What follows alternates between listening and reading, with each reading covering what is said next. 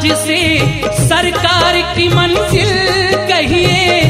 वो मदीना के शरीयत का जिसे दिल कहिए, वो मदीना जहाँ सिद्दीक ने अजमत पाई, वो मदीना जहाँ फारूक ने इज़्ज़त पाई, वो मदीना